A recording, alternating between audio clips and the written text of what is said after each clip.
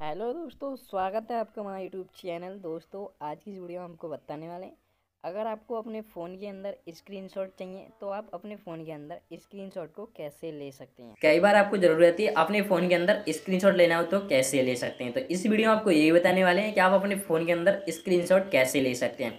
इसके लिए वीडियो में बस सिंपल सिंपल स्टेप रहने वाले हैं, जिन्हें फॉलो करके आप अपने फ़ोन के अंदर स्क्रीनशॉट ले सकते हैं। तो चलिए गाइज़ वीडियो स्टार्ट कर लेते हैं। और वीडियो स्टार्ट करने से पहले आपने अब तक हमारा चैनल नहीं किया सब्सक्राइब तो चैनल कर लें सब्सक्राइब। सब्सक्राइब करने के बाद बेल आइकन प्रेस करना ना भूलें, ताकि आपको अगली वीडियो नोटिफिकेशन मिल सके सबसे पहले।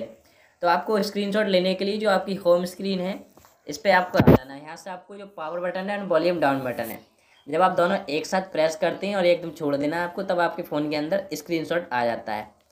इस प्रकार से आप देख सकते हैं, हमारे फ़ोन के अंदर स्क्रीनशॉट आ चुका है। यहाँ से आप इसे एडिट भी कर सकते हैं, जो भी आपको करना हो यहाँ से इसे। एडिट करना हो तो एडिट कर सकती हैं। यहाँ से आप इसे शेयर भी कर सकते हैं। तो इस प्रकार से आप अपने फ़ोन के अंदर स्क्रीनशॉट को एडिट और शेयर भी कर सकते हैं। इस प्रकार से आप अपने फ़ोन के अंदर स्क्रीनशॉट ले सकते हैं। आई होप आपको वीडियो पसंद आई। वीडियो पसंद आई हो तो लाइक करें, शेयर करें और चैनल पे पहली बार आए तो चैनल को सब्सक्राइब करके बेल आइकन प्रेस करना भूलें ताकि आपको अगली वीडियो नोटिफिकेशन मिल सके। सबसे पहले मिलते हैं आपसे नेक्स्ट वीडियो में। तब तक के लिए bye bye and take care.